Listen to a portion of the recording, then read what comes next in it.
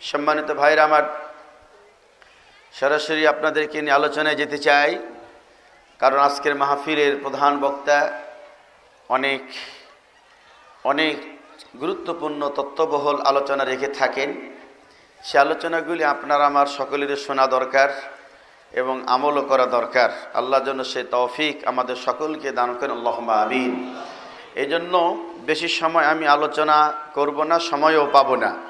সংক্ষিপ্ত সময়ে কোরআন হাদিসের আলোকে কিছু কথা বলার চেষ্টা করছি। আল্লাহ সে তৌফিক দান কর আল্লাহ আমিন। সম্মানিত ভাইরা আমার, পৃথিবীতে এমন কোনো প্রাণী নেই যে প্রাণী শান্তিতে থাকতে চায় না। সব প্রাণী কিন্তু শান্তিতে থাকতে চায় চায় না? আপনি জঙ্গল থেকে একটা শ্রীগাল ধরে নিয়ে আসেন,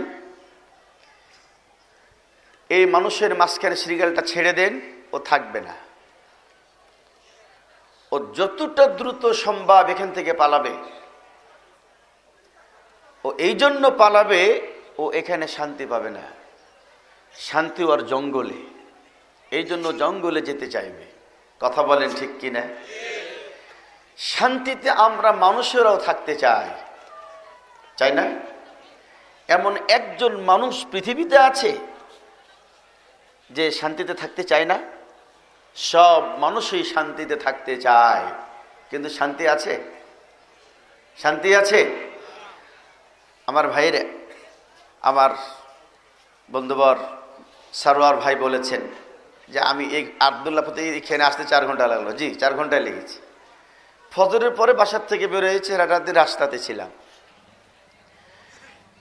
দুইজন খুব আমার কাছে যেটা মনে হলো, তারা স্বামী স্ত্রী হবে বিমানের টিকিট করা সাতটায়। কোন দেশে যাবে বলতে পারব না। আর এয়ারপোর্টে এসে গাড়ি পৌঁছাইছে আপনার সাড়ে সাতটার পরে। হয়তো বা তার বিমান মিস হয়ে গেল, যেতে পারবে না। মেজাজ খুব খারাপ। আমার ভাইয়েরা, এটা সে চায়নি, কিন্তু হয়ে গেছে। আমরা সবাই শান্তিতে থাকতে চাই।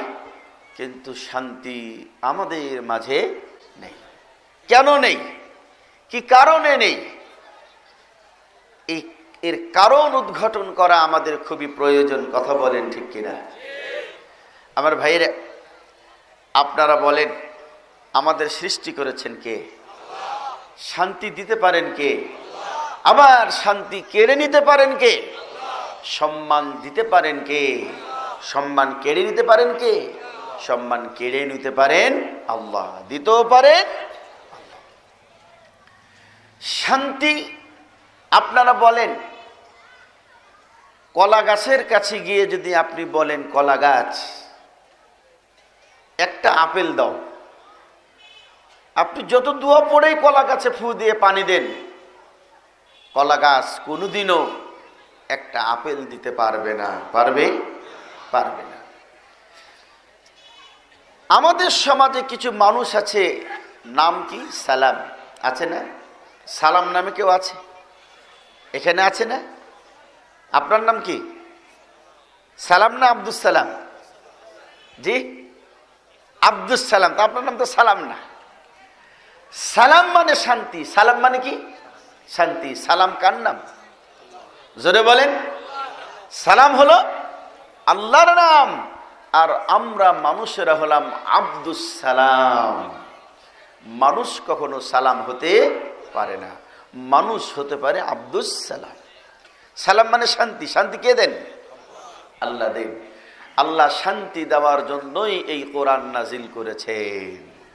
এই শান্তি দেওয়ার জন্যই এই কোরআন নাজিল করেছেন কে? আল্লাহ রব্বুল আলমিন। দেখেন। আল্লাহ রব্বুল আলমিন কোরআনুল কেরিমে পরিষ্কার বক্তব্য তুলে ধরলেন। তিনি বললেন, বান্দা, আমার বান্দি, আমার শুনে নাও, এই কোরআন কি দিতে পারে?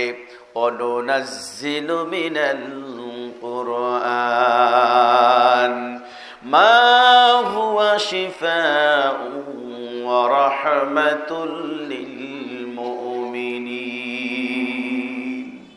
একটু জোরে জবান খুলে বলেন কার কথা? আল্লাহর কথা। এই কোরআন নাসিল করা হয়েছে, এটা হলো শিফা। পৃথিবী এমন কোনো ঔষধ অসুখ নাই যে অসুখের ঔষধ কোরআন নয়। কোরআন আপনার কোরআন পড়লে অসুখ ভালো হয়। আল্লাহ কোরআনকে শিফা বলেছেন। কোরআনকে কি বলেছেন? শিফা। এরপর আল্লাহ রব্বুল আলমিন বললেন ওরহমাতুল্লিল মুমিনিন। এই কোরআনুল করিম হলো মুমিনদের জন্য রহমাত, শান্তি। ও মুমিন, শান্তি পেতে চাও। শান্তি পেতে হলে কোরআনুল করিম পড়তে হবে, কোরআন বুঝতে হবে। তাছাড়া শান্তি পাওয়া সম্ভব নয়। আপনারা বলেন, আল্লাহ রব্বুল আলমিনের সিফাতি নাম কয়টি? কয়টি? নিরানব্বইটি সিফাতি নাম। এই নিরানব্বইটি নামের ভিতরে আল্লাহ রব্বুল আলমিন একটি নাম হলো রহমান। ঠিক কিনা বলেন? রহমান, যত বেশি বলি, অন্য আল্লাহর এত নাম, অন্য নাম এত বেশি আমরা বলি না। সবচাইতে বেশি রহমান আমরা বলি। এই কোরআনুল কারিমে একশো চোদ্দটি সুরা আছে। একশো চোদ্দ বার এই কোরআনুল কারিমে এসেছে বিসমিল্লাহ, পড়েন সবাই, পড়েন। বিসমিল্লাহির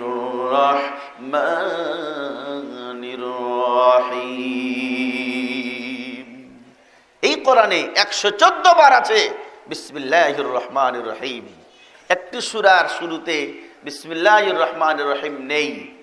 সেই সুরাটির নাম হলো কি? কি বলেন? তৌবা না তাওবা। তাওবা আর তৌবা এক জিনিস না। তৌবা আর তাওবা এক জিনিস না। কফ আর কাফ এক জিনিস না। শিন আর সিন এক জিনিস না। এটা আপনার বুঝতে হবে। যাক, আমি ওদিকে আজকে যাচ্ছি না। আল্লাহ রব্বুল আলমীর একটি নাম হলো রহমান।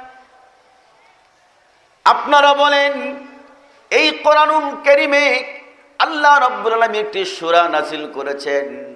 সুরাতুর রহমান আছে না নাই বলেন? সুরার নাম কি? সুরাতুর রহমান। রহমান নামে আল্লাহ একটি সুরাও নাজিল করেছেন। আল্লাহ রব্বুল আলমিন বললেন আর রহমান আল্লামাল কুরআন। আল্লাহ, তিনি যিনি কোরআন শিক্ষা দিয়েছেন। আমার ভাইয়েরা, এই কোরআনুল করিমে আল্লাহ রব্বুল আলমিন সালাতের কথা বলেছেন, সিয়ামের কথা বলেছেন জাকাতের কথা বলেছেন, হজের কথা বলেছেন, জিহাদের কথা বলেছেন। একটু জোরে বলেন, বলেছেন না, বলেন নাই, বলেন। আল্লাহ বলেছেন।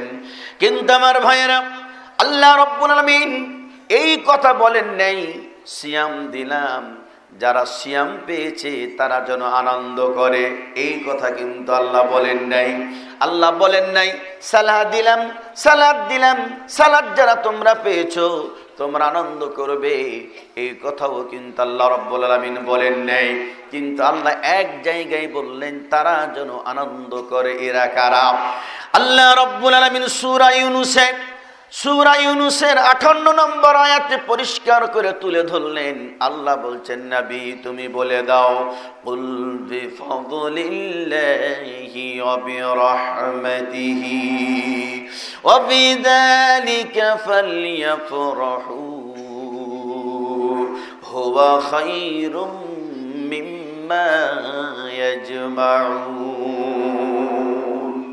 একটু জোরে বলেন, সুবহানাল্লাহ। আল্লাহ বলছেন, নাবি, তুমি বলো, এই কোরআন আমি এমনি এমনি দেই নেই। এই কোরআন দিয়েছি, তুমি বলে দাও, বিফদুলিল্লাহ, আল্লাহর অনুগ্রহে, অবিরহমাতিহি এবং তার দয়ার কারণে। আল্লাহর অনুগ্রহ এবং তার দয়ার জন্য তোমাদের কাছে এই কোরআন এসেছে। আল্লাহ রব্বুল আলমিন বললেন, এই কোরআন যারা পেল তারা যেন খুশি হয়ে যায়। সুবহান আল্লাহ বলেন, কোরআন যারা পেল, তারা যেন খুশি হয়ে যায়। কেন খুশি হবে? আল্লাহ রব্বুল চমৎকার কথা বলে দিলেন, কারণ হলো, হুয়া খাইরুম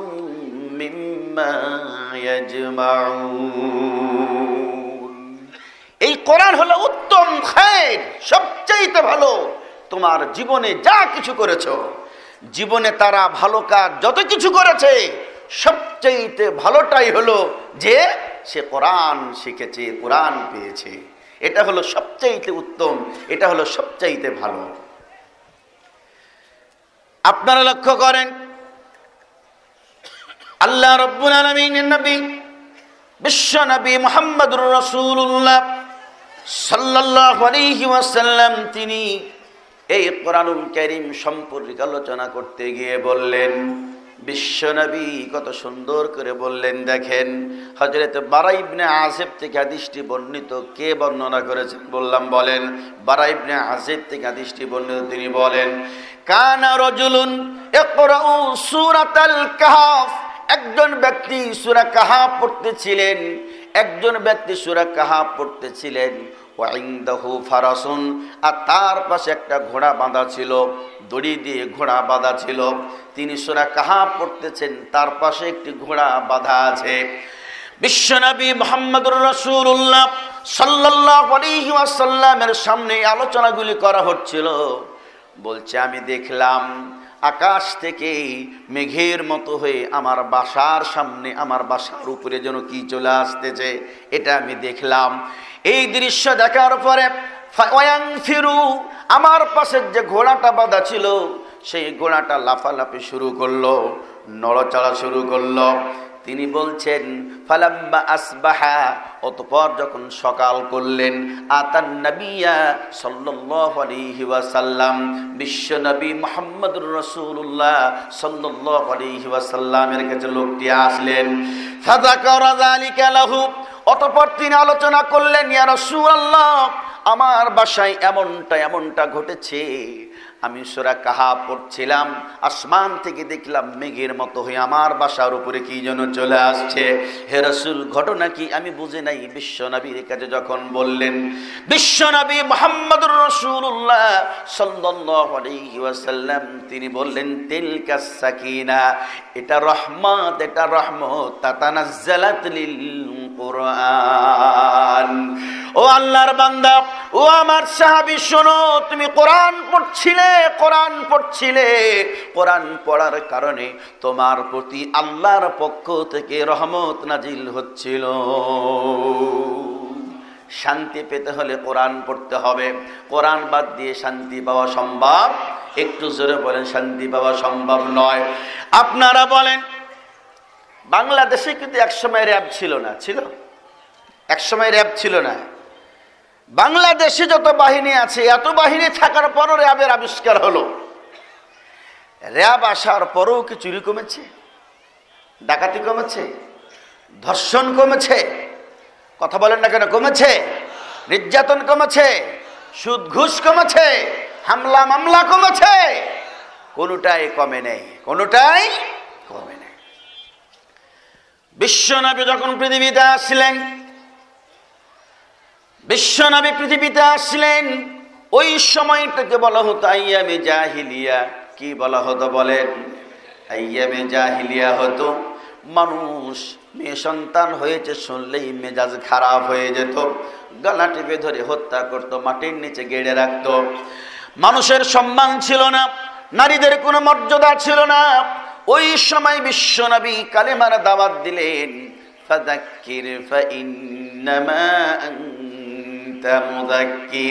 আল্লাহ বলেন নবী, তুমি উপদেশ দাও, তুমি উপদেশ কোরআন থেকে বক্তৃতা করো।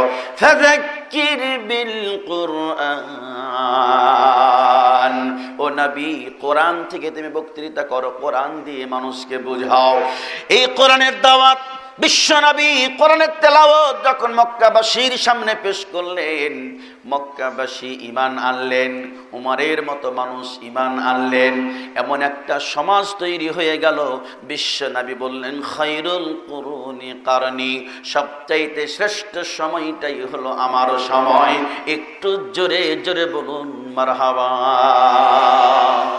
কোরআনের সমাজ গঠন করলেন বিশ্বনবী মোহাম্মদ রসুল্লাহ সাল্লাহ সাল্লাম চোর, চুরি ছাড়লো, ডাকাত, ডাকাতি ছাড়লো, জালেম, জুলুম ছাড়লো, নির্যাতিত, নিপীড়িত মানুষ পরিত্রাণ পেল, মা, মায়ের মর্যাদা পেল, বোন, বোনের মর্যাদা পেল, সবাই নিজ নিজ মর্যাদা পেয়ে গেল, শ্রমিক, শ্রমের মর্যাদা পেল, কারও সাথে কারও আর মারামারি নাই, পিটাপিটি নাই, দলাদলি নাই, কলহ বিবাদ নাই, একটু জোরে বলেন, কথা বলেন ঠিক কিনা? কোরআন আজও আছে না নাই? আছে। প্রাইমারি স্কুল কত দূরে আছে এখান থেকে? সামনে প্রাইমারি স্কুল আছে। আছে না নাই? প্রাইমারি স্কুল সামনেই আছে। আপনারা বলেন, আমাদের ভাষা কি ইংরেজি না আরবি? সবাই বলেন না কারণ আমাদের ভাষা ইংরেজি না আরবি? ইংরেজিও না, আরবিও না। আমার প্রশ্ন হলো, আমার জানতে ইচ্ছে করে আমার ছেলেকে আমি প্রাইমারি স্কুলে ভর্তি করে দিলাম। আমার ছেলে আলিব্বা তাসা পড়বে না। কিন্তু আমার ছেলে এ, বি, সি কেন পড়বে আমি জানতে চাই। আরবি ভাষা তো আমাদের না। আমরা আরবি বলি না। আমার ভাষা আরবি না। আমার ভাষা ইংরেজি না। আমার ছেলে যদি ইংরেজি শিখে, এ, বি, সি, ডি, যদি আমার ছেলে ইংরেজি ভাষা শিখে ইংরেজি বলতে শিখে, ইংরেজি গ্রামার শিখে আমার জানতে ইচ্ছে হয়, আমার ছেলে কেন আলিব্বা তাসা শিখবে না? কি কারণে শিখবে না? কিসের জন্য শিখবে না? কি কারণে শিখবে না? কিসের জন্য শিখবে না? আজ পর্যন্ত প্রশ্ন করেছি, জবাব পাইনি জবাব পাইনি। আপনার কাছেও প্রশ্ন করলাম, জবাব আপনি রেডি করেন। কেন হয় না, কি কারণে হয় না? আমার ভাইয়েরা, আল্লাহ রব্বুল আলমিনের নবী, বিশ্ব নবী মোহাম্মদুর রসুল্লাহ আলাইহি ওয়াসাল্লাম এই কোরআন সম্পর্কে এত কথা বললেন, দেখেন কিতা এই কোরআন সম্পর্কে অনেক কথা আল্লাহ আলামিনের নবী বললেন। বিশ্ব নবী বলছেন, শোনো, বিশ্ব নবী বলছেন, শোনো। আন বর্ণিত তিনি বলেন কোরআনা, তোমরা কোরআন পড়ো, তোমরা কোরআন পড়ো, ফাইন্নাহু এই কোরআন কিয়ামতের দিন কোরআন পড়া মানুষের জন্য সুপারিশ করে জান্নাতে নিয়ে যাবে। কোরআন সুপারিশ করবে, কোরআন কথা বলবে। কোরআন পড়া যারা পড়েছে, এই কোরআন যারা পড়েছে, তাদের জন্য কোরআন সুপারিশ করবে। তিরিমিজি শরীফের হাদিস হাদিস সহি, সনাদ সহি। আপনাদের কাছে আমি বলি, শুনে রাখেন। হজরত আব্দুল্লাহ বিন আব্বাস তিনি হাদিসটি বর্ণনা করলেন, তিনি বলছেন কোরআনু কিয়ামতের মাঠে কোরআন চলে আসবে, কিয়ামতের মাঠে কোরআন চলে আসবে। এমন একদিন কোরআন চলে আসবে, যেই দিন কোনো মানুষ কোনো মানুষের জন্য সুপারিশ করতে আসবে না। কোনো মানুষ কোনো মানুষের জন্য কোনো কথা, কোনো সাহায্য করার জন্য এগিয়ে আসবে না। ছেলে আসবে না, মেয়ে আসবে না, মা আসবে না, বোন আসবে না, স্বামী আসবে না, স্ত্রী আসবে না, কেউ কাউ কেউ সহযোগিতা করবে না। আল্লাহ রব্বুল আলমীর নাবি বললেন, সেই বিপদের দিনে মুসিবতের সময় কোরআন চলে আসবে। আল্লাহ বলবে? হে আল্লাহ, এই মানুষগুলি এদের মর্যাদা বাড়িয়ে কথা বলবে। কথা বলবে। আপনি বিশ্বাস করেন আর না করেন, কোরআন কথা বলবে। এটাই সত্য কথা। কার কার সাথে কথা বলবে? কার সাথে কথা বলবে বলে আল্লাহর সাথে কথা বলবে। আল্লাহকে বলবে, আল্লাহ, ও আল্লাহ, যারা কোরআন পড়েছিল তাদের সম্মান বাড়িয়ে দাও। বিশ্বনবী মোহাম্মদুর রসুল্লাহ সাল্লাহ আলিহাসাল্লাম বললেন, কোরআন পড়া মানুষের সম্মান আল্লাহ বাড়িয়ে দিবেন। আবার কোরআন বলবে, জিদহু আল্লাহ এর মর্যাদা আরও বাড়িয়ে দাও, সম্মান আরও বাড়িয়ে দাও। বিশ্ব নাবি বললেন, এদের সম্মান আল্লাহ আরও বাড়িয়ে দিবেন, কোরআন পড়া মানুষের সম্মান বাড়াইয়া দিবেন। এরপরে কোরআন বলবেন রব্বুল আলমিন, হে আমার রব, এই ব্যক্তির উপরে তুমি সন্তুষ্ট হয়ে যাও। কোরআন পড়া মানুষ দুনিয়ায় যারা কোরআন পড়েছিলেন, এদের উপরে সন্তুষ্ট হওয়ার জন্য আল্লাহ রব্বুল আলমিনকে কোরআন বলবে। কোরআন পড়া মানুষের উপরে আল্লাহ রব্বুল আলমিন কেয়ামতের মাঠে সন্তুষ্ট হয়ে যাবেন। সন্তুষ্ট হয়ে যাওয়ার পরে আল্লাহ রব্বুল আলমিনের নবী, বিশ্ব নবী বললেন, আল্লাহ বলবেন ও বান্দা, ইকরা একটা করে আয়াত পড়ো আর একতলা উপরে চলে যাও।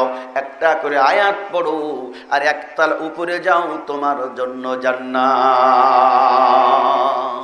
যাও জান্নাতে চলে যাও। কোরআন পড়া মানুষগুলিকে আল্লাহ সম্মান দিয়ে জান্নাত পর্যন্ত পৌঁছাইয়া দিবে। আপনারা বলেন, আল্লাহর আসমানটা কি পছন্দ হয়েছে? কার কার পছন্দ হয়নি? হাত উঁচু করেন দেখি। আল্লাহর আসমানটা কার কার পছন্দ হয়নি? হয়েছে? তার মানে সবার পছন্দ হয়েছে। আর সুকুত আলা রিজা। চুপ থাকাটা সম্মতির লক্ষণ। আসমানটা আল্লাহ সবার পছন্দ হয়েছে, নাকি আপনাদের কারও পছন্দ হয়নি? সবার পছন্দ হয়েছে। যদি আমি বলি, জমিন কি পছন্দ হয়েছে? আল্লাহর জমিনটা পছন্দ হয়েছে। আল্লাহ দা জমিন পছন্দ হলো। আপনারা বলেন, আল্লাহ হাত দিয়েছেন, এই হাত আল্লাহ দেওয়া হাত কি পছন্দ হয়েছে?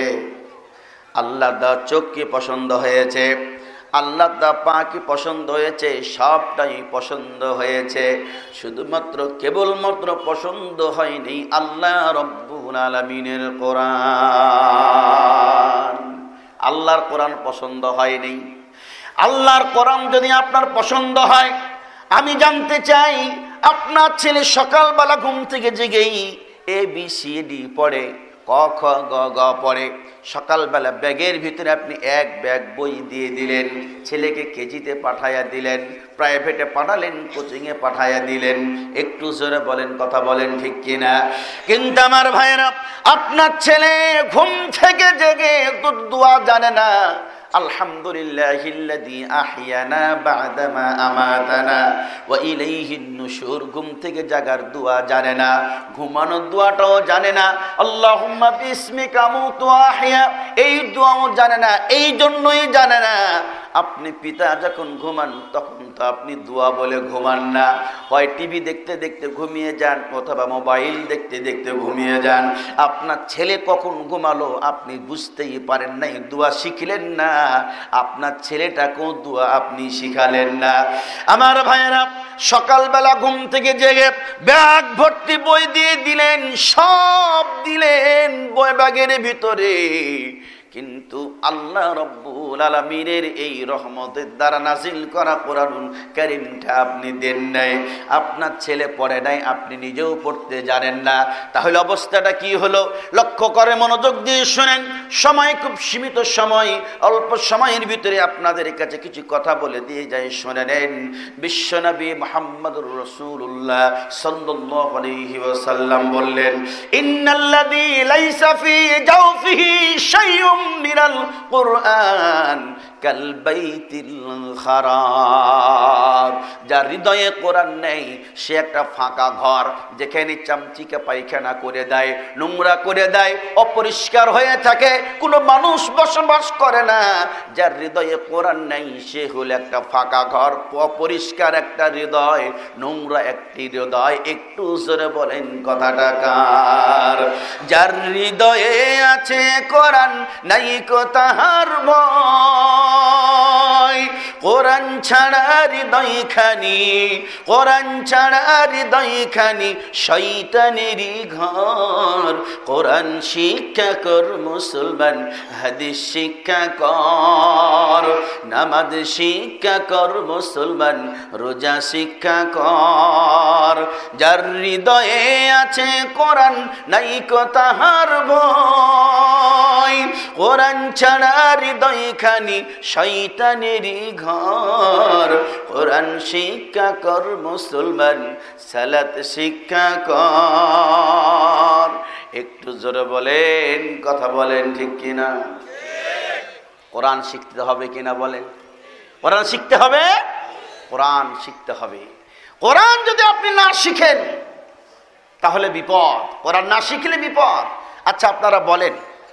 আপনারা বলেন প্রতিটি মানুষকে এই মৃত্যুর স্বাদ গ্রহণ করতে হবে কি না? এমন কেউ আছেন যার মৃত্যু হবে না? এমন কেউ আছেন কি যার মৃত্যু হবে না? প্রত্যেকটি মানুষের মৃত্যু হবে। এটা সবাই স্বীকার করে। এটা সবাই স্বীকার করে। পরকালকে সবাই বিশ্বাস করে না। কবরের শাস্তিকে সবাই বিশ্বাস করে না। জাহান্নাম সবাই বিশ্বাস করে না। কিন্তু মৃত্যুকে সবাই বিশ্বাস করে। একটু জোরে বলেন, কথা বলেন, ঠিক কিনা? সবাই মৃত্যুকে বিশ্বাস করে। এই জায়গায় কেউ অবিশ্বাস করে না। মৃত্যুর সময় বিশ্বনবী বললেন লাকিনু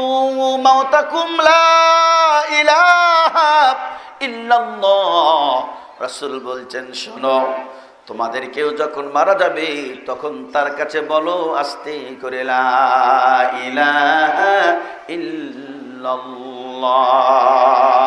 রসুল বলতে বললেন, কিন্তু বলার কেউ নাই, বলার কেউ নাই। আপনার একটা ছেলেকে আপনি নামাজি বানাতে পারেন নাই। হাফেজ বানাতে পারেন নাই, আলেম বানাতে পারেন নাই। আপনার বাসা, আপনার বাসার সাথে মাদ্রাসা বাইরের ছেলেরা এসে লেখাপড়া করে আলেম হয়ে যায়। দুর্ভাগা, কপাল পড়া হতভাগা আপনার ছেলেটা কাছে মাদ্রাসা থাকার বড় আলেম হতে পারল না, হাফেজ হতে পারল না। আল্লাহ রব্বুল আলমিন কোরআনুল কারিমে পিতা মাতার জন্য দোয়া শিখে দিলেন, রব্বির হামহুমা কামা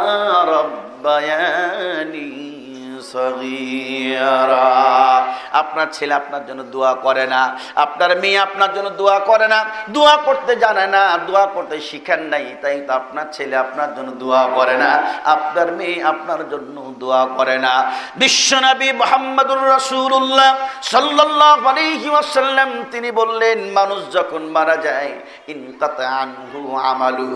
তার সব আমলগুলি বন্ধ হয়ে যায়, তিনটা আমল জারি থাকে, তার ভিতরে একটি হলো সুসন্তান একটি যদি আপনি রেখে যেতে পারেন, এই সুসন্তান দোয়া করলে এর দোয়া আল্লাহ কবুল করে নেন। এখন আপনি বলেন, আপনার ছেলে মেয়ে কয়জন? নিজের বিবেকের কাছে বলেন, ছেলে মেয়ে কয়জন? আপনার যে কয়টা ছেলে মেয়ে আছে, এই ছেলে মেয়েরা কোরআন পড়তে জানে কি না যদি কোরআন পড়তে জানে তাহলে আপনি সফল পিতা। কোরআন পড়তে যদি আপনার ছেলে মেয়ে না জানে, আপনি পিতা বটে, কিন্তু পিতা নামের কলঙ্ক। আপনার ছেলেকে আপনি কোরআন শিক্ষা দেন নাই। আপনার মেয়েকে আপনি কোরআন শিক্ষা দেন নাই। তার মানে কোরআনের কোনো মূল্যায়ন আপনার কাছে হয় নাই। কোরআন মূল্যায়ন না করে পৃথিবীতে কেউ সম্মানিত হয় নাই। আর পরকালে জান্নাত পাওয়ার প্রশ্নই আসে না। আপনারা বলেন বেলাল দেখতে সুন্দর না আবু জাহাল দেখতে বেশি সুন্দর? দেখতে কে বেশি সুন্দর? বেলাল না আবু জাহাল? আপনারা বলেন, জান্নাতে যাবে কে বেলাল না আবু জাহাল? বেলাল জান্নাতে যাবে। আবু জাহাল? কেন? কি কারণে যাবে না? আবু জাহাল কোরআন মানে নাই। আবু জাহাল কোরআন মানে নাই। বিশ্ব নবীকে মানে নাই ইমান আনে নাই। আর হজরতে বেলাল কোরআন মেনে নিয়েছেন, আল্লাহ রসুলকে মেনে নিয়েছেন, যাবে কোথায়? জান্নাতে যাবে। আমার ভাইয়েরা লক্ষ্য করেন, আল্লাহ রব্বুল আলমিন কোরআনুল কারিমে পরিষ্কার বক্তব্য তুলে ধরলেন। আল্লাহ রব্বুল আলমিন বলছেন, কেয়ামতের দিনে যেই দিন যেই দিন মানুষ বিপদে থাকবে যেদিন মানুষ বলবে, ইয়া নাফসি ইয়া নাফসি, হে আল্লাহ, আমাকে বাঁচাও, আমার কি হবে, আমার কি হবে? যেই দিন মানুষ বিপদে থাকবে, বিপদের দিনে মুসিবতের সময় আপনার আমার জন্য সুপারিশ করবেন। তিনি হলেন বিশ্বনবী মোহাম্মদুর রসুল্লাহ সাল্লাম কিন্তু আপনি আপনার জন্য আমার জন্য সুপারিশ করবেন, এর নিশ্চয়তা কোথায় আছে বলেন? যদি আপনি রসুল উম্মত হতে না পারি, আমি যদি রসুলের দলের লোক হতে না পারি, আমি যদি আল্লাহর গোলামি না করি, আপনার আমার জন্য সুপারিশ আল্লাহ রব্বুল আলমিন করবেন না। এই ব্যাপারে অনেক কথা বিশ্ব নবী বলেছেন। কারা কারা আমার দলভুক্ত, কারা কারা আমার দলভুক্ত নয়, কারা দলভুক্ত নয়, তাদের বর্ণনাও বিশ্ব নবী বলে দিয়ে গিয়েছেন। কিন্তু আমার ভাইয়েরা, এই কোরআন যারা পড়ল না, এই কোরআন যারা মানল না, তাদের ব্যাপারে আল্লাহ রব্বুল আলমিন পরিষ্কার কথা বলে দিলেন। কেয়ামতের দিন আল্লাহ রসুল আল্লাহ রব্বুল আলমিনকে বলবেন ও কলার রসুল, ইয়া রব্বি ইন্না কৌমি اتخذوا هذا القرآن مهجورا আল্লাহ রব্বুল আলমিনকে রসুল বলবেন কলার রসুল রসুল বলবেন ইয়া রব্বি হে আমার রব এই সব মানুষ তোমার কোরআনকে ঠাট্টার বস্তু রূপে গ্রহণ করেছিল এরা কোরআন পড়ে নেই এরা কোরআন পড়ে নেই এরা কোরআন মানে নেই এখন আপনি বলেন আপনি বলেন, কোরআন যদি আপনি না পড়েন, কোরআন যদি আপনি না বুঝেন, কি কারণে আপনি কোরআন পড়বেন না বলেন? আল্লাহ চোখ দিলেন দেখার জন্য আপনি দেখবেন, আল্লাহ হাত দিলেন ধরার জন্য আপনি ধরবেন, আল্লাহ আসমান দিলেন, জমিন দিলেন, সূর্য দিলেন, চাঁদ দিলেন, সব দিলেন, অসংখ্য নিয়ামত দিলেন, আপনি সব ভক্ষণ করবেন, সব করবেন, আপনি কোরআন কি কারণে পড়বেন না? কি কারণে আপনি কোরআন পড়বেন না একটা অজুহাত? কি দেখাবেন আল্লাহর কাছে? কোন অজুহাত কিয়ামতের মাঠে আপনার চলবে না, খাটবে না। কোরআন আপনাকে পড়তেই হবে। আপনার পরিবারে কোরআনের শিক্ষা আপনাকে বাধ্যতামূলক আপনার পরিবারে কোরআনের শিক্ষা চালু রাখতে হবে। তাছাড়া দুনিয়া তো শান্তি পাওয়া সম্ভব নয়, পরকালও শান্তি পাওয়া সম্ভব নয়। আপনারা বলেন এই কোরআন নাসিল করেছেন কে? কে নাসিল করেছেন? এই কোরআন নাসিল করেছেন আল্লাহ রব্বুল আমিন। এই কোরআনুল করিম যারা শিখলো, আর যারা শিখালো, এই কোরআন যারা পড়ল, যারা পড়ালো বিশ্বনবী বলছেন, এরাই সবচাইতে উত্তম ব্যক্তি। উত্তম ব্যক্তি কারা? যারা কোরআন শিখে আর কোরআন শিখায়, এরাই উত্তম। আমি এর আগেও এখানে দুইবার এসেছি, এই মাহফিলে। এর আগেও এসেছি বেল দিতে অনেকবার এসেছি। কিন্তু এর আগে এসে আমি হেফজুল কোরআন এটা পাইনি। এটা ছিল না, তাই না? হেফজুল কোরআন ছিল? আগে থেকেই ছিল? তাহলে এই পোস্টারে কি লেখা হতো? হ্যাম্বেলে কি লেখা হতো? জি? যাই হোক, আমার হয়তো স্মরণে আসছে না। ছিল না? মাঝে মাঝে বাদ ছিল। কিন্তু যাই হোক, এটা আমার জানা ছিল না। আজকে এটা দেখে আমার খুব ভালো লেগেছে যে হেফজুল কোরআন কোরআন হেফজ করা হয়। যারা কোরআন হেফজ করে, কোরআন হেফজ করলে আবার শুধু হবে না, পাশাপাশি কোরআন বুঝতে হবে, কোরআনের অর্থ জানতে হবে। আর জানার জন্য তো একটা আলিম মাদ্রাসাও এখানে আছে। আবার আব্দুল রাজা ইউসেফ ওস্তাজিদ একটা মাদ্রাসাও এখানে করেছে তাই না? তাহলে হাফেজ হওয়ার পরে কোরআন বুঝার জন্য, জানার জন্য আপনাকে আর বেশি দূরে যাওয়া লাগবে কি? বেশি দূরে যাওয়া লাগবে? বেশি দূরে যাওয়ার প্রয়োজন হবে না। খুব কাছে থেকে আপনি কোরআনকে বুঝার, কোরআনকে মানার সুযোগ আপনি পেয়ে যাবেন। তাহলে এখন আপনি আপনার ছেলেকে হাফেজ বানান, আলেম বানান ডাক্তার বানান, ইঞ্জিনিয়ার বানান। কিন্তু আপনি কোরআন বাদ দিলেন কেন? কোরআন পড়ার পরে কি হাফেজ হতে পারবে না? না, হাফেজ হওয়ার পরে কি ডাক্তার হতে পারবে না? গোটা বাংলাদেশে এরকম সেনাবাহিনীর লোক অনেক আছে যারা ফাজিল পাস, কামিল পাস, আপনার এই যে হাফেজ, এরকম অনেক আছে। পুলিশে চাকরি করে হাফেজ। হেফজ করেছিল, আলেম হয়েছে। এরকম লোক গোটা পৃথিবীতে, গোটা বাংলাদেশে অভাব নেই, অনেক আছে। তাহলে আপনার ছেলেকে আপনি কোরআন শিক্ষা দেওয়ার পরেও অন্যগুলো আপনি শিক্ষা দিতে পারবেন। কিন্তু আপনি দেন নাই এই জন্য কেয়ামত দিন আসামির কাঠ গোড়ায় দাঁড়াতে হবে। দাঁড়াতে হবে কাকে? পিতাকে দাঁড়াতে হবে। প্রথম দায়ী হলো পিতা। কেন? বিশ্বনবী মোহাম্মদুর রসুল্লাহ ওয়াসাল্লাম তিনি বললেন, কুল্লু মাউলিদিন, প্রতিটি সন্তান ইউলাদু জন্মগ্রহণ করে আলাল ফিতরাতে। সঠিক ধর্মের উপরে জন্মগ্রহণ করে। জন্মগ্রহণ যখন কেউ করে, তখন তার কোনো পাপ থাকে না, থাকে নাকি বলেন? সব সন্তান সঠিকভাবে জন্মগ্রহণ করে। কিন্তু তার পিতা তাকে ইহুদি বানায়, তার পিতা তাকে নাসরা বানায়। পিতা ইহুদি বানাই পিতা নাসরা বানাই কোনো সন্তান পৃথিবীতে আসার পরে বলে না, আমি মাদ্রাসায় পড়ব না। এই কথা কোনো সন্তান বলে নাকি বলেন? কোনো সন্তান বলে না, আমি কোরআন পড়ব না। এই কথা বলে নাকি বলেন? বলে না। কিন্তু আপনি পড়ালেন না, আপনি পিতা পড়ালেন না, শিখালেন না, জানালেন না। এই জন্য গোটা বাংলাদেশে বলেন তো, যদি আপনি গরু ছাগলের কথা চিন্তা করেন, গরু ছাগল গরু ছাগল কি বৃদ্ধাশ্রমে রাখার কোনো ব্যবস্থা আছে নাকি বলেন, আছে। গরু ছাগল কি বৃদ্ধাশ্রম রেখে আসে?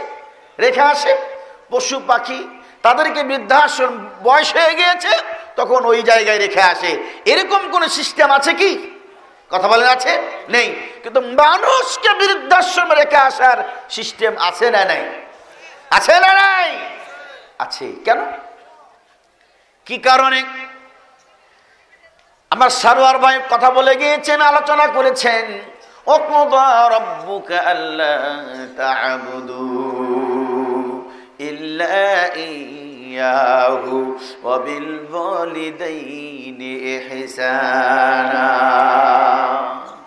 এই বক্তৃতা করে গিয়েছেন তিনি। পিতামাতার খেদমত করতে হবে। পিতামাতার খেদমত করার জন্য ছেলেকে তো সেভাবেই যোগ্য করে তৈরি করতে হবে। কথা বলেন ঠিক কিনা? আপনার ছেলেকে আপনি যোগ্য ছেলে বানাতে পারেন নাই। অনেক পিতা আছে, গর্ব করে বলে, আমার ছেলে সুন্দর করে গান গাইতে পারে। আছে না? গর্ব করে বলে, আমার ছেলে অনেক বড় ডাক্তার, ইঞ্জিনিয়ার। এই গর্ব করে বলে। আপনার ছেলে ডাক্তার হয়েছে। পাঁচ অক্ট সালাদ পড়ে না। আপনার ছেলে কোরআন পড়তে জানে না। আপনি নিজেও কোরআন পড়তে জানেন না, গর্ব করার কিছু নেই।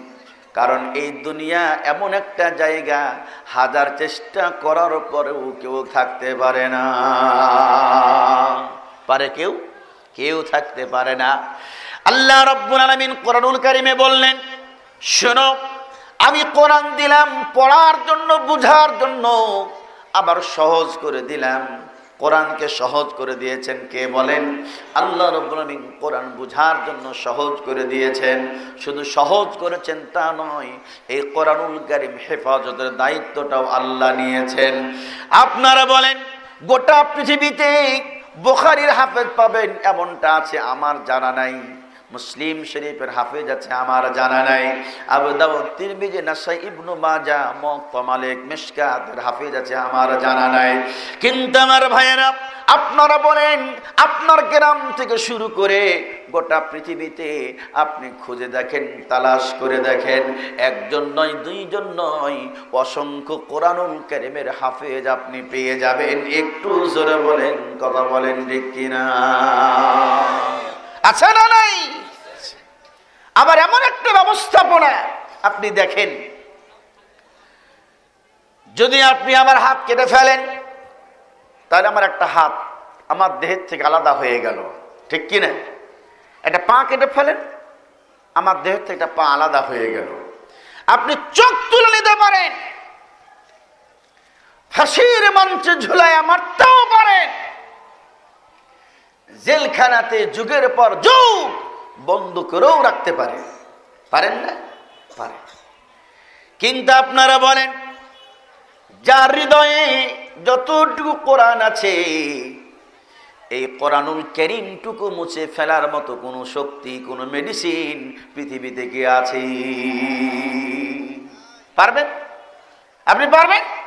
সব করতে পারবেন। কিন্তু কোরআনুল ক্যারিমটা আপনি মুছে ফেলতে পারবেন।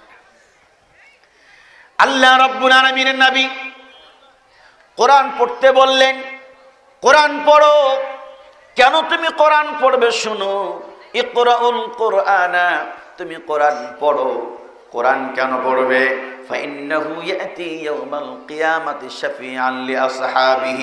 যারা কোরআন পড়বে, কেয়ামত দিন কোরআন পড়া মানুষের জন্য কোরআন করিম সুপারিশ করবে।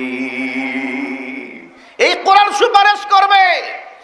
যেই দিন আপনার বিরুদ্ধে আপনার ছেলে কথা বলবে, আপনার মেয়ে কথা বলবে, যেই দিন আপনার বিরুদ্ধে আপনার ছেলে মামলা করবে, সেই দিন বিপদের দিনে, মুসিবতের সময় আপনি কোরআন যদি পড়ে থাকেন, কোরআনুল করিম আপনার জন্য সুপারিশ করবে। যদি আপনি এটা কেমন কথা? যেই ছেলেকে আমি জন্ম দিলাম, যেই ছেলেকে আমি এত ভালোবাসলাম সেই ছেলে কেন আমার বিরুদ্ধে কথা বলবে কেন আল্লাহ রাব্বুল আমিন পরিষ্কার করে কোরআনুল কারীমে আলোচনা করেছেন তিনি বলেছেন ইয়াউমা তুকাল্লাবু বুজুহুম ফিন النار يقولون يا ليتنا أطعنا الله وأطعنا الرسول আল্লাহ রব্বুল আলামিন বললেন জাহান্নামীরা জাহান্নামের আগুনের ভিতরে ওলট পালট খাবে। জাহান্নামীরা জাহান্নামের আগুনের ভিতরে ওলট পালট খাবে আর বলবে, হায় আফসোস, যদি আল্লাহর কথা মানতাম, রসুলের কথা যদি মানতাম, তাহলে তো এই জাহান্নামে আসা লাগতো না। এইভাবে বলবে কিন্তু সেই দিন বলে কোনো লাভ হবে না। একটু জোরে লাভ হবে না কি বলেন? সেই দিন বলে কোনো লাভ হবে না। সেই দিন বলবে রব্বুর আলামিন, রব জি, এই মোটর সাইকেলগুলি যাদের সরিয়ে নিতে হবে। যে ওস্তাদ দিয়ে এসেছেন মোটর সাইকেলগুলি সরিয়ে নিতে হবে। আমরা আমরা শুরুতেই দোয়া করেছি আবারও দোয়া করছি। ওস্তাদ যে এসেছেন, আমরা ওস্তাদের আলোচনা শুনব ইনশাল্লাহ আমরা মনোযোগ সহকারে শুনব ইনশাআল্লাহ। আল্লাহ তুমি কবুল করো। আমরা সবাই বলি আল্লাহ আমিন আল্লাহ আমিন।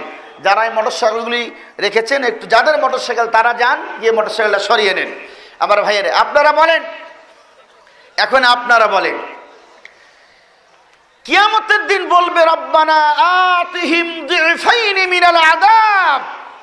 হে আল্লাহ, এদেরকে দ্বিগুণ শাস্তি দাও। আল্লাহর কাছে বলবে, আল্লাহ, এদেরকে দ্বিগুণ শাস্তি দাও। কারণ আপনি বলেন, একজন ছেলেকে যদি আপনি সালাদ শিক্ষা না দেন, জীবনও শিখতে পারবে না, পারবে? পারবে? তাহলে সালাদ শিক্ষা দেওয়া দায়িত্বটা কার? সালাদ শিক্ষা দেওয়ার দায়িত্বটা কার? পিতার। সালাদ শিক্ষা দেওয়ার দায়িত্বটা হলো পিতার। কারণ বিশ্বনবী মোহাম্মদুর রসুল্লাহ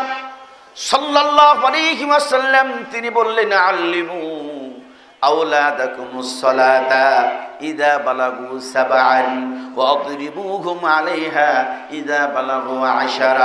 বিশ্বনবী বললেন, শোনো, তোমরা তোমাদের ছেলে মেয়েকে সালাত শিক্ষা দাও।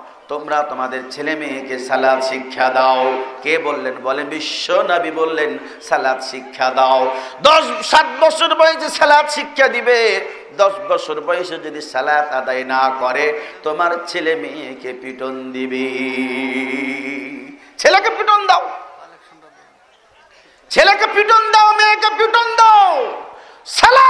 না করলে আপনার ছেলে শিখবে, শিখাতেই হবে। এটা এই দায়িত্ব আপনার। দিন শিক্ষা দেওয়ার দায়িত্বটা আপনার। আপনি শিক্ষা দিতে পারেন, প্রসেস করতে পারেন। যদি আপনি না করেন, তাহলে কিন্তু আল্লাহ ছাড়বে না। আল্লাহ ছাড়বে না। এখন আপনারা বলেন, আপনাদের ছেলে মেয়েকে কোরআন শিক্ষা দিবেন কি না কোরআন শিক্ষা না দিলে বিপদ।